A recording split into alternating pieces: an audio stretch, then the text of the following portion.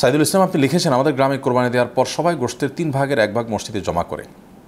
অথবা সেখান থেকে আবার গরিবদেরকে এবং এলাকার সব বাড়িতে, এমনকি নিজ, যিনি কোরবানি দিয়ে মসজিদে গোস্ত পাঠিয়েছেন, তার বাড়িতেও পাঠানো হয়। পদ্ধতি সঠিক? না, এটা ভুল পদ্ধতি। বিশেষ করে এই যখন এটাকে বাধ্যবাধকতার মধ্যে আনা হয়।